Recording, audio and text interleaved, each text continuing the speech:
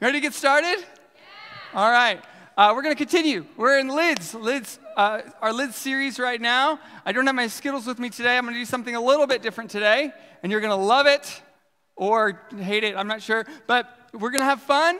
Uh, but I want to ask you to imagine with me a world or society without fences. No fences. I want you to imagine what this looks like. Just, just think about driving home today. Maybe you're in an apartment, maybe there's a gate, maybe there's not a gate, but I want you to like imagine how the world would look driving through Denton if nobody had fences. All the subdivisions were the same way, but there was no six foot pine stained light brown fences to keep the privacy. What would that be like? You, you have a different kind of relationship with your neighbor, wouldn't you? I'm not saying a good kind, I'm just saying a different kind. A different kind, a, a, a different version of the relationship you have now. We had a, our old house that we lived at, we would walk in the backyard, and we, our houses were built kind of like on a elevated grade. And so, and they weren't big backyards. There was probably like 25 feet to our fence line. And we shared a fence line with the neighbor behind us, and we'd walk out on our back porch, and the backyard would go down, and then it would go up to the other side. So a six foot fence is really like a three and a half foot fence. And so we just, it's weird because the other neighbor would come outside, and we would just pretend like we're not standing there in our pajamas, just waking up in the morning. I don't see you, you don't see me, right? We just, it's this awkward moment. But imagine if like that was like that all the time, just no fences anywhere and you, you just have this shared space in the backyard. Now, I'm not trying to, like, I mean, there's a lot of different reasons why we would do this. Uh, we have fences. We have it for security purposes. We have it for privacy.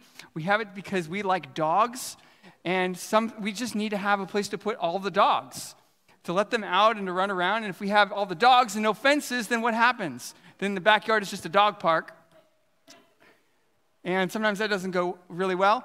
Uh, I think really the most realistic is just because we try to get the houses so close together, and it makes us feel like we're farther apart when we're actually like nine inches from the neighbor. These new housing developments, have you seen how close they are? They're zero lot lines. Yeah, they're really close.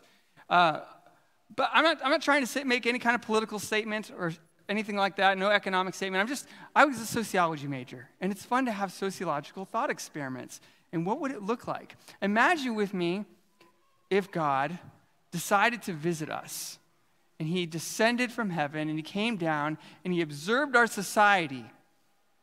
Do you think that he would find it interesting that we are so fond of fences in our society? He would look upon us and say, Man, they really like to be so close together. Look how close their houses are. But then they have all these fence lines pretending that they're not close together. I wonder if that has a statement about the human condition. I wonder if that is a reflection about who we are as humans, that our nature as humanity, is our, our desire to be close but yet separated. So, we're going to explore this idea today in our next lid. And I want you to help me unpack an idea. We are in the middle of this sermon series. And if you're not familiar with what we're talking about in our LID series, our LID series is kind of an illustrated concept. If you will indulge me here, the idea is that we would have a container. We represent a container. And within that container is everything that God wants to pour into our lives. And that He pours lavishly and generously. Yet often we would apply a lid to this container, and everything that the Lord would want to pour into our lives would be obstructed and resisted. And sometimes what happens is we get into this position where we don't understand how come we're not making progress? How come we're not growing? How come we're not discovering? How come we're not receiving the blessing that we feel like we ought to? A lot of times it's because we have this transparent lid that covers our container, that covers our lives, and everything that God wants to pour into our lives is hindered. And so each week we're looking at these different aspects, these different lids that might cause a hindrance, an obstruction, without us even realizing that we are obstructing the things that God's trying to do in our life. And so we're going to look at this concept today of possessiveness and how possessiveness can inadvertently become a lid that inhibits what God wants to do in our life. Our fences can be a representation of that because what we can, without realizing it, we can set boundaries in our life and say, everything within this belongs to me. Everything outside of this needs to be away. And we don't even realize that our fence line is a representation of what might be going on in our hearts. Now, I'm not encouraging you to go and rip down your fences and have a communal society with all of your stranger neighbors. I'm not asking you to do that. I think your HOA may have a problem with that anyway, but I'm not saying that that's the solution. I'm just saying, what if in our heart we have done the same sort of thing and inhibited something that God wants to do in our lives, what He wants to do in us, what He wants to do for us. And so let's talk about that today. Let's look at this concept and let's explore a passage of Scripture where we see a certain kind of possessiveness that corrupts the heart of a leader with great potential. So we're going to look at 1 Samuel chapter 18 to discover this today. If you're not familiar with 1 Samuel 18, I'll give you a little bit of understanding what we're talking about here. This is about 950 years before Jesus, which, when you think about that, when you think about the Bible, that 1 Samuel is like a quarter of the way through the Bible, and that's 950 years before Jesus is even born. If we go all the way back to like the, the patriarchal figures in the book of Genesis, we're talking about like another five to 700 years. And so when you really think about it, this Bible, though it, it's ancient, like it's, it's historic, we're about the same timeline removed from Jesus as the beginning of the Bible was. And that's kind of interesting. Kind of helps you understand how connected to the scriptures that we are, that we are part of this story as well. Anyway, so we're looking at 1 Samuel, and we're going to focus in today on a particular interaction regarding King Saul and David. Now, Saul is Israel's first ever king. Israel wasn't intended to have kings. God didn't design it that way, but upon their appeal, God heard their cry and gave them what they asked for and granted them a king, King Saul. And we're going to learn a, bit, a little bit about his backstory in a little bit, but we find that Saul is a bit insecure. He's a bit unsettled in his kingship. And we meet this other individual named David, who, by no account, should ever have been considered for king. He was a, a, uh, a shepherd in a long list of brothers. He was lowest on the, on the pole, lowest in the pecking order. And yet, here we find ourselves in a conflict between the king of Israel, an ascension, ascension of power in the known world, and we have this young boy, David, who is getting all kinds of attention. But I want you to do is we're going to read this passage of Scripture, and we're going to look at this interaction. And I want you to pay attention to what possessiveness does to King Saul and what happens as a result. So read with me. We're going to in 1 Samuel 18. It'll be up here on the screen, and you can read along with me. And we're going to start in verse 5. We're going to read all the way to verse 16. It says this Whatever Saul asked David to do, David did it successfully. So Saul made him commander over the men of war, an appointment that was welcomed by the people of Saul's, office, Saul's officers alike. When the victorious Israelite army was returning home after David had killed the Philistine, women from all the towns of Israel came out to meet King Saul. They sang and danced with joy with tambourines and cymbals. This was their song Saul has killed his thousands, David his ten thousands. I wonder what chord progression that is. If that's a upbeat song or if it's in a minor key, I don't know. I, that's to be written. Challenge for the worship team. Recreate it for us, all right? Verse 8 This made Saul very angry. What's this? He said. They credit David with ten thousands and me only thousands. Next, they'll be making him their king. So from that time on, Saul kept a jealous eye on David. The very next day, a tormenting spirit from God overwhelmed Saul, and he began to rave in his house like a madman. David was playing the harp as he did each day, but Saul had a spear in his hand. I don't know why. We don't know why. He just happened to have a spear in his hand. And he suddenly hurled it at David, intending to pin him to the wall. But David escaped him twice. Saul then Saul was then afraid of David, for the Lord was with David and had turned away from Saul. Finally, Saul sent him away and appointed him commander of a thousand men. And David faithfully led his troops into battle. David continued to succeed in everything he did, for the Lord was with him. Then Saul recognized this. He became even more afraid of him. But all Israel and Judah loved David because he was so successful at leading his troops into battle. All right, so did you see the possessiveness that took place in this interaction?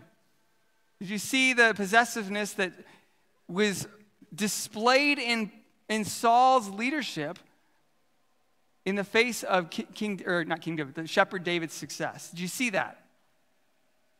All right, so it's pretty ugly when we, when we have possessiveness in our heart, when we have boundaries that we're trying to protect and we feel those things are threatened. Ugly things can often come out of us, like they did with King Saul here. What is Saul trying to preserve? What is he trying to protect here? There's a few things he's trying to preserve. The first thing we see is that he's trying to preserve his honor. He says, They credit David for his successes. What are my successes? As though his honor has been diminished because of David's success, even though David is a commander under King Saul's leadership. But King Saul is threatened that his honor is being diminished because of somebody else's successes. Now, we talked about that a few weeks ago a little bit in talking about comparison and how that is a lid in itself. And so maybe there's layers of lids happening in King Saul's life right now. But we see that he is concerned about his honor not because he has done anything worthy of dishonor, but because he's afraid that somebody else is getting more honor than he is.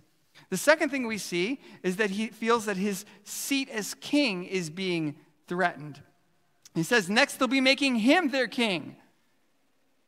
Next, he'll, they'll be dethroning me and appointing somebody in my place. And then the third thing that we see that he's threatened by is that he's threatened in his own life it says that Saul became even more afraid of David as David became more successful.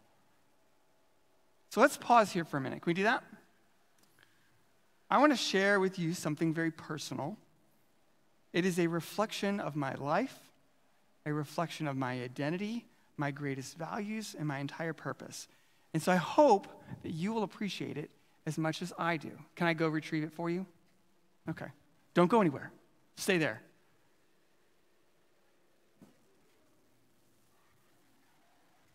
All right, here it is. I have this jar of dirt. I've got a jar of dirt. I've got a jar of dirt. Some of you are like, I know that, but I don't know where it's from. okay, so this is a jar of dirt. What do you think I'm going to do with this dirt?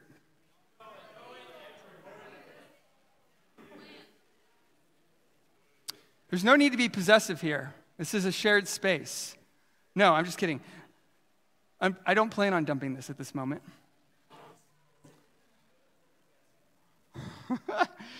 so, this actually is not my values and my dreams and my identity and purpose, but let's pretend it's a representation that this jar contains all of those things. I just need to give you something to visualize what my purpose looks like. It looks like this. So I'll rotate it for you. There you go. I want you to, conceptualize this with, with me as today as we are trying to understand this a little bit of an abstract principle of what it looks like for us to possess, have possessiveness in our heart. So imagine this is a representation of all these things, and I, I want to I want to ask a question here. Actually, a few. I want you to imagine with me why you think this particular dirt is so important to me and why it's better than all the other jars of dirt that you would buy. You don't buy dirt, jars of dirt. I don't know why you didn't catch that. So why, why do you think why do you think that this might be so particularly important to me? It could be sentimental. Yeah. Why would I love this dirt? Why would I like cherish this dirt so much? It's just dirt, you know? It doesn't really do anything.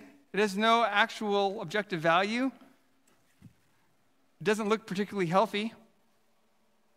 You know, dirt can be healthy. We'll talk about that.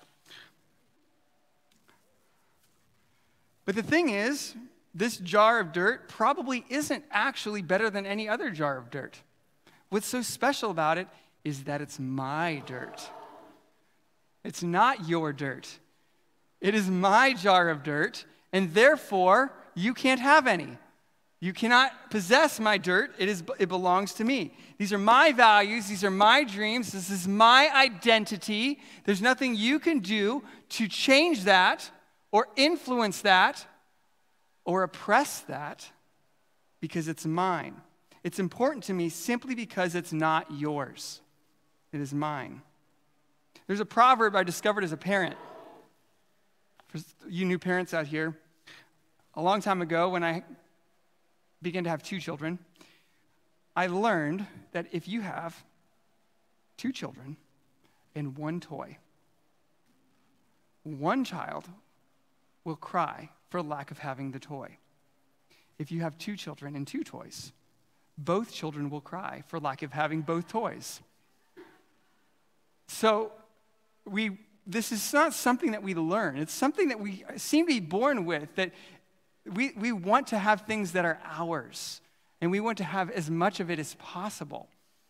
And we can be easily threatened when we feel like what we do have, even if it's not a lot, even if it's a little bit, it's still ours. We can feel threatened if it's, if it's being taken from us or somebody claims to have, have wanted to take it from us. But this particular dirt, why is it so important to me? Because it's mine. It brings me to the second question How did this dirt come to me in the first place? How did these dreams and values and identity and this sense of purpose, how did it come to my possession in the first place? Where did I receive these things? Was it I who made the dirt? Did I construct it? Do I, did I imagine it? Or did I simply collect it from somewhere else? Saul says, Next they will be making David their king, which is interesting. It's an interesting statement. You know why it's an interesting statement? Because, because nobody, none of those people made Saul their king. Nobody appointed, nobody rallied around Saul. Nobody chased him down in the tribe of Benjamin and said, That guy over there, he's the one. And they circled up around him and hoisted him up and then carried him into the capital city and said, You are now our king. That didn't happen with him. But yet that's what he fears in his mind is going to happen is David has become successful and is going to dethrone him. He thinks that these people are going to appoint David as his replacement even though Saul has been generally successful up to this point as a king. It reveals that Saul has forgotten where he received his jar of dirt. So let me show you where he found it. Let's look at 1 Samuel chapter 9. We're just going to read a couple excerpts. You can go back and read the whole backstory up to this point. 1 Samuel 9, we're going to read part of 20 into 21. It says, And I am here to tell you that you and your family are the focus of all Israel's hopes, Saul. Saul replied, But I'm, the, I'm only from the tribe of Benjamin, the smallest tribe in Israel, and my family is the least important of all the families of that tribe. Why are you talking to me like this? This is Saul, who we just read in chapter 18, owns the world. He's the king, he has all the power, and this is just a few chapters before when he's being selected and appointed by the prophet to be the king of Israel. He says, Why are you talking to me like this? I don't deserve this conversation. I should not be considered for this. Let's go to chapter 10. Chapter 10, verses 9 and 10. Flip over there for me. It says, As Saul turned and started to leave, God gave him a new heart, and all Samuel's signs were fulfilled that day. When Saul and his servant arrived at Gibeah, they saw a group of prophets coming toward them. Then the Spirit of God came powerfully upon Saul, and he too began to prophesy. So, what do we see here? Is that it is not the people who said that Saul should be king, it was God himself who appointed him and anointed him for such a responsibility. And somewhere along the line, from 1 Samuel chapter 10 to 1 Samuel chapter 18, Saul lost sight of that and what God had blessed him with, something that he did not deserve, that he knew he did not have the worthiness to possess. He came into possession, he came into ownership, he came into glory and honor, and he held it tightly in his hands. And he did not want to let it go. Instead of recognizing the humility necessary to receive it in the first place, that God selected him and anointed him, he forgot that. He began to take ownership and he took credit for his position. And when that happened, something turned in his heart. In the heart that it says here that, that God gave Saul so that he could do this responsibility, so that he could come into this blessing and this anointing, was forfeited. It was given up. It was a lid that entered into his life. The king Saul had forgotten why and he forgot how he was king. And as a result, he became jealous. He became territorial. And he formed this lid of possessiveness that it inhibited him for the rest of his life. For the rest of his life, Saul lived in the shadow of fear, of doubt, and of insecurity because all he possessed, he held a tight grip on as if it was his own and not a gift from God. And so here's where I want you to look today. Okay, look at me for a second. Look at me. I want you to look at this. We have been looking at the different ways over these last few weeks that we put lids in our life and we pre- prevent God from doing something in our life. He, God wants to do something in you. Hear me. He wants to do something for you. He wants to do something in you, and He wants to do something for you. And if we have these lids that we inadvertently allow to exist in our life, like possessiveness, then we inhibit his ability to do something in us, like he did for King Saul, and he inhibit, we inhibit the ability for him to do something for us that he hopes for, that we may never even see or perceive. This prevents God's gifts from entering our lives. This prevents God's gift from entering your life. Perhaps God has been attempting to deliver some anointing, some purpose, some value, some meaning, something rich in your life, and it has been inhibited because of possessiveness. Perhaps it's like Saul in that he's already given you something, and it has been something that you've held within your heart and somewhere along the lines, you've claimed it as your own. Your resources, your experiences, your relationships, and you've said, These are mine. I deserve the honor and the glory, as if God had nothing to do with those blessings. And so, what ends up happening when we do that is that we are never able to entrust back to the Lord the things that He's put into our care we are never able to say, God, thank you for these wonderful things. I believe that you can do something magnificent with what you've given me, and I trust them with you. Instead, we take it and we say, This is ours, and I don't want to lose what I have. Stay away from me. Don't ask me to let go of this, because if I don't have this, then I don't have anything. This is my identity. This is my purpose. This is my life. And if you take this, Lord, and something happens, then I have nothing. And it's a terrible feeling, isn't it? But it implies something about the God that gave it in the first place. It implies that he is incapable of doing something even greater than he has already done, a, a greater work than he has already started. So, there are some different ways that I want to talk about with you that we might find ourselves inhibited by this lid of possessiveness three different expressions of this possessive nature that might inhibit us. The first is that we might experience a possessiveness over people. in our life. Now, the thing is about people is that the human heart craves love, connection, attachment, belonging. Fortunately, God created a world in which we could have that with Him. That is the intended desire, that we would be reunited with Him and reconnected with an eternal family. But in this, this world, we can sense a loneliness and sorrow and pain. And people can often become a substitution for that, or at least an access point for us to experience that connection. It can be in the form of a significant other, it can be a form of a child, our offspring. What can easily happen if we're not careful, careful is that people can become a replacement for Jesus. I've heard testimonies before where people can come up and they, they say, My life's been forever changed, and I owe it all to Susan. As, and Susan didn't ask to be Jesus. She didn't say, I want to try to be a savior for this person. But for some reason, that we in our hearts have misaligned ourselves and we have allowed a person in our life to become a savior figure. Or alternatively, we feel this, this might be a little bit different. Maybe this is where you're coming from.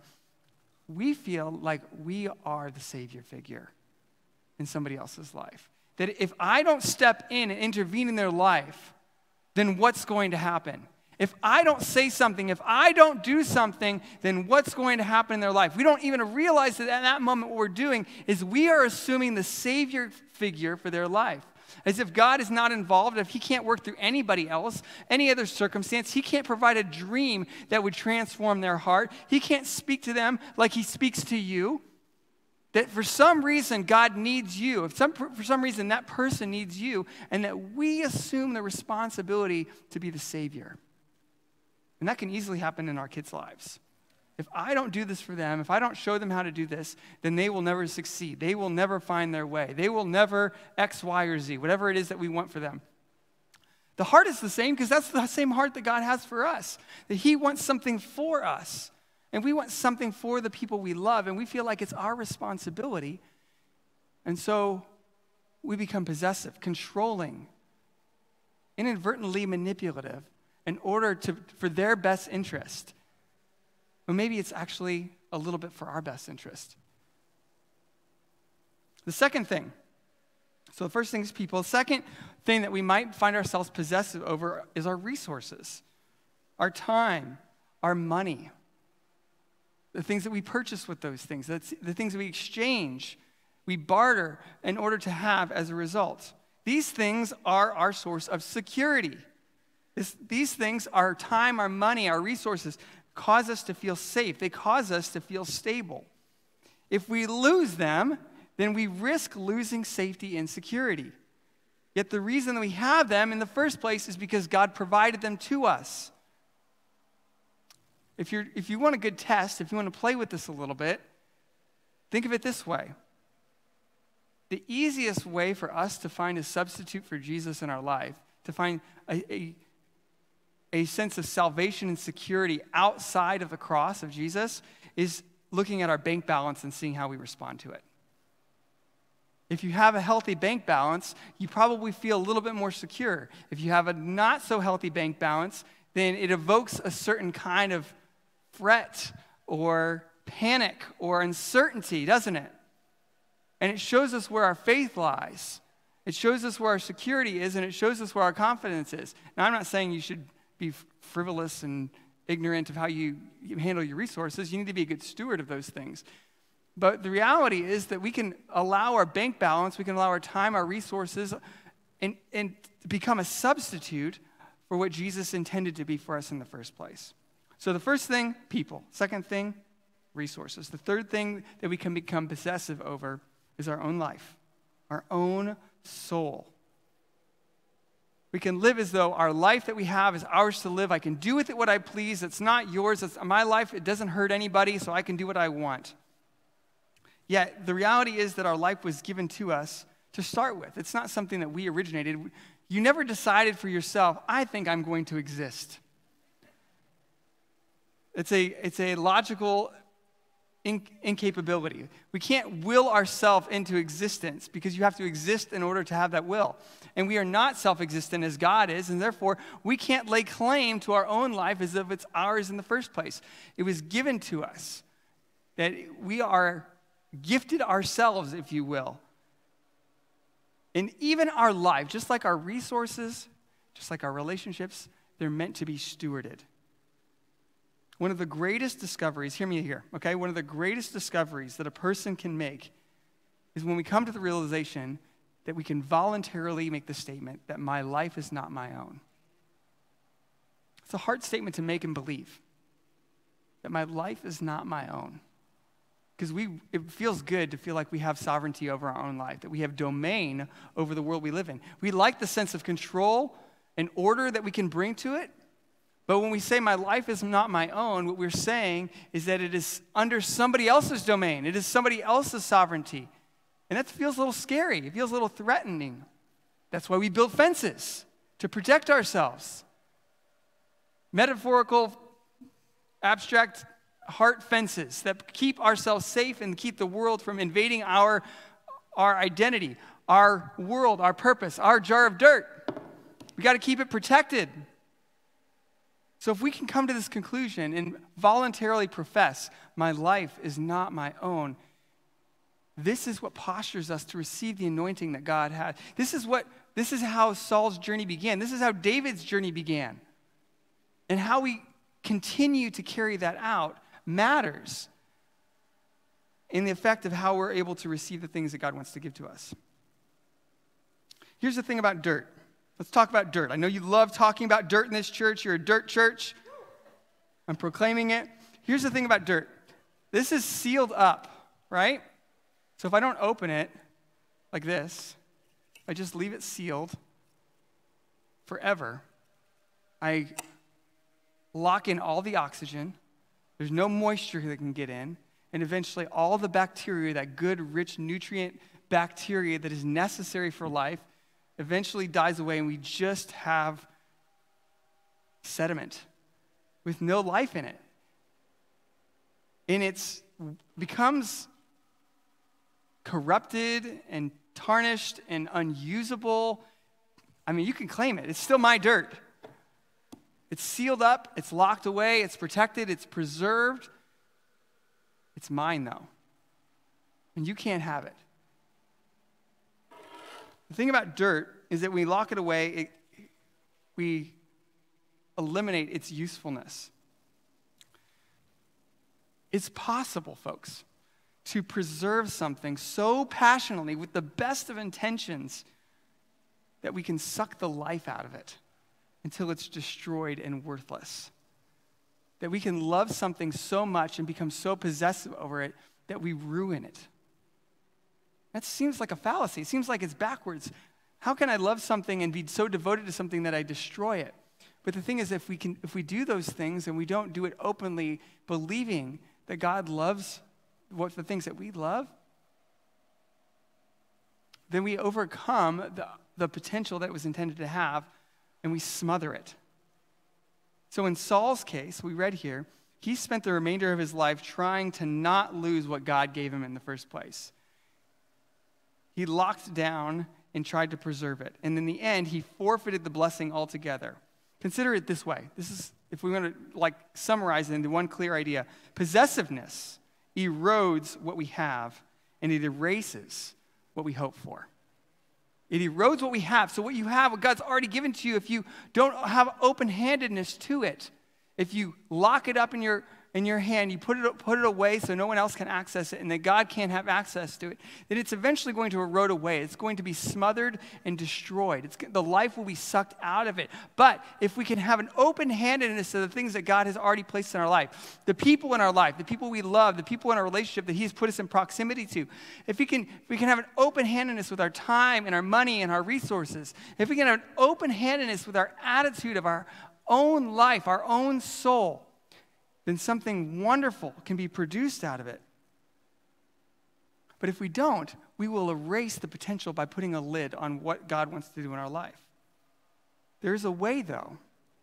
Let me tell you there is a way to remove the lid.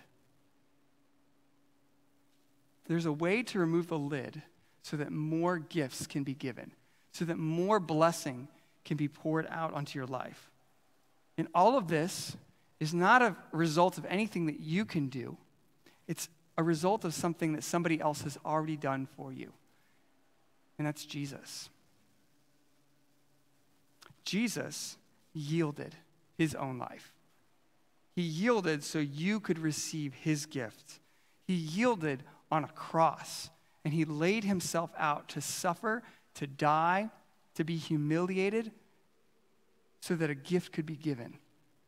He did not become possessive over what God had given him. That was the temptation.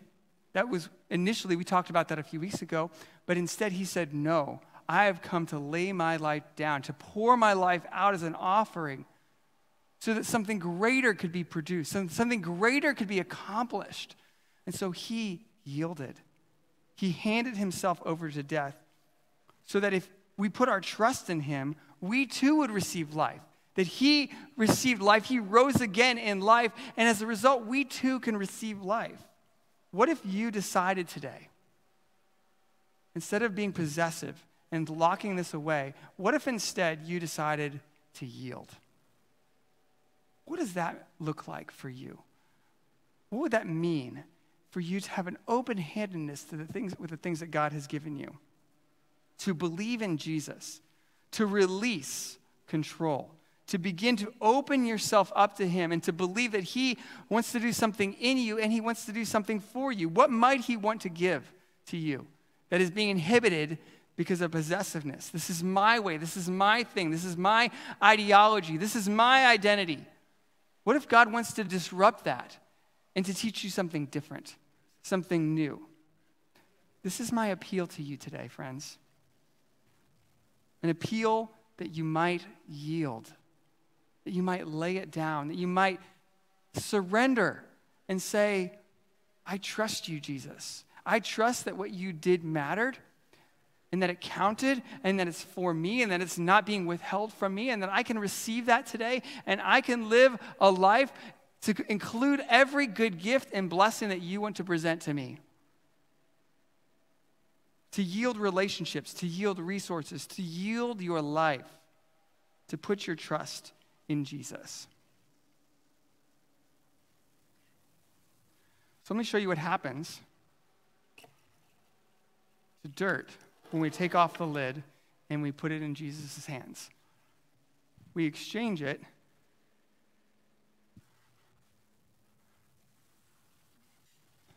And it produces something. The moisture of God's blessing is infused, the nutrients return. It is transformed into something that it could not be before. And as a result, something fruitful, something beautiful is produced out of it. So it is really up to you today, friends, that you could keep your jar of dirt. You can claim your identity. You can claim your ideology. You can stand firm and say, What's mine is mine. I'm not budging on this. I'm holding this in my heart, and there's nothing you can do to come into my life and change my mind. Or you can say, I think what Jesus did for me counted for something and that it mattered. And I believe that He's somebody I can put my trust in and then I can allow Him to care for things that are important to me. I'll tell you, folks, it's a big breakthrough moment when we can get to a place where we believe that Jesus cares more about us than we do, that Jesus cares more about the people in our life than we do, that Jesus cares more about my money and my time and my resource than I do, when we can get to this place where we can say that I am not the best person to take care of the things that God has given me, that is a huge breakthrough. When we can willingly, not begrudgingly, but willingly allow the things that God has given us to be placed back into His care, then it can turn into something beautiful. And in this jar of dirt, we put this jar of dirt away as a symbol of completion. And this is what our life becomes dirt with life. It becomes soil. it becomes nutritious, it becomes reproductive. There is a narrative in Scripture that the old is gone and the new has come. That the old has passed away and then new life is born again. And for those of us who are in this room, we've made a decision who have to follow Jesus. We've experienced this. The putting away of death and the rebirth of new life in Jesus. If you're here today and you haven't experienced that, I want you to take that opportunity to receive that today. But I'm going to ask all of us, because I believe that there's probably a response of possessiveness in our heart that we all need to surrender today. And so I'm going to prompt you, I'm going to pray for you today. And as we're going to do that, I'm going to ask you to stand.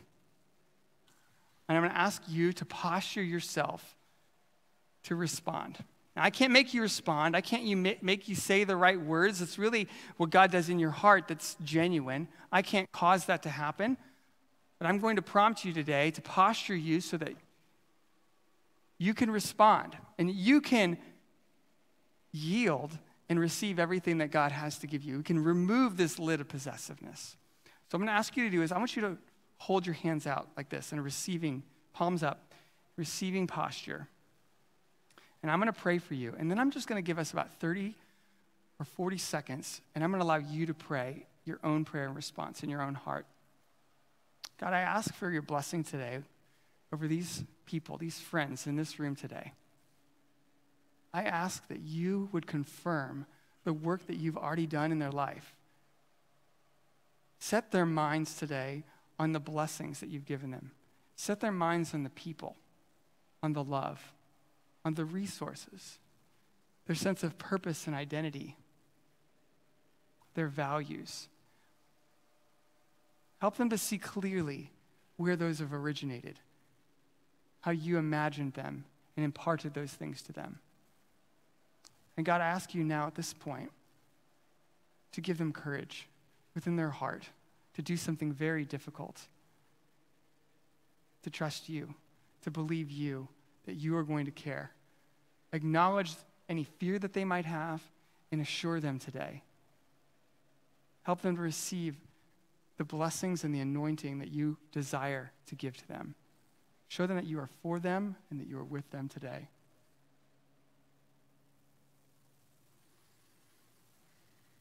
Begin to pray in your heart how you need to respond today. Lord, I believe that you are doing something today within this community, that you are cultivating new soil.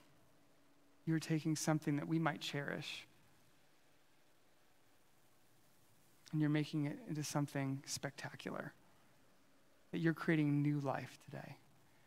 Perhaps there's those in this room today who, for the first time, have the courage to trust in you. We know that's your Holy Spirit, that you, that you are with them in this moment. Remain with them. And thank you, Lord, for those who are taking the courage to recognize that what they have belongs to you in the first place. God, show yourself to be a good steward. Show yourself to be faithful. Show yourself worthy of the trust so that we can know the fullness of your presence, your power, and your love. And we can share in the glory of your kingdom. We ask these things in your name. Amen.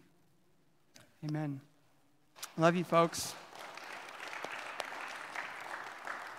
May the Lord bless you this week. May He cause you to be fruitful. May He cause you to be successful. And may He help you to be disciples of Jesus and make disciples of Jesus. Amen.